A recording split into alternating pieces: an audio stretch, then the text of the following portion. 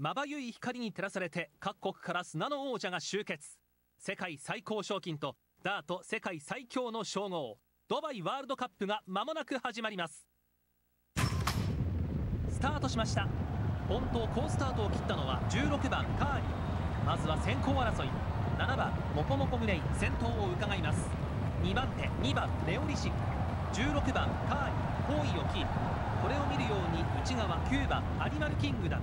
各馬第1コーナーをカーブしていきます。1馬身相手5番ムハドラム。外を抑えて6番ガンランナー。これを見るように内側3番ウエストコースト11番キャペザーノこの辺りが中段。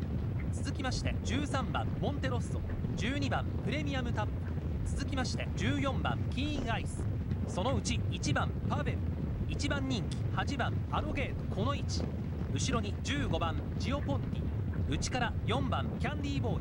前半の 1000m は1分1秒4 10番レッドカドー後方。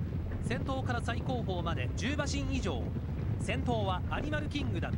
各馬第3コーナーをカーブしていきます。後ろに16番カーリー。7番モコモコグレイ好位をキープ。1馬身相手2番ネオリシック。少し差が開いて5番ムハドラム6番ガンランナー。外から差を詰める。4コーナーカーブから直線に向きます。さあ直線コースに向いた。400を切って先頭アニマル苦しい展開になった。依然として先頭はカーリここで先頭が入れ替わる。モコモコグレイ先頭。